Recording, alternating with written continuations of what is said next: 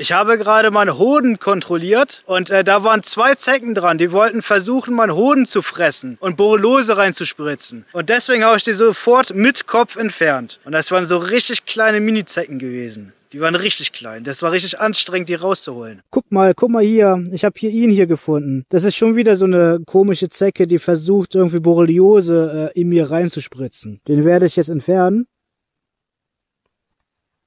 So, ich habe den hier entfernt, aber hier vorne ist noch eine Zecke, den werde ich auch entfernen. So, die Zecke habe ich auch entfernt und ähm, hier sehe ich auch eine Zecke. Die werde ich jetzt auch entfernen. So, die Zecke habe ich auch entfernt und ich habe hier vorne auch eine Zecke gefunden. Die werde ich jetzt auch mit meinen Fingern entfernen. Jawohl. Guck mal diesen Punkt hier. Das ist eine kleine Zecke. Den muss ich entfernen. So, ich habe den abgemacht. Und hier ist auch eine Zecke. Der muss auch abgemacht werden. Prüfen, ob ich bald Borreliose aus meinem Körper rausspritzen kann, um andere zu ärgern.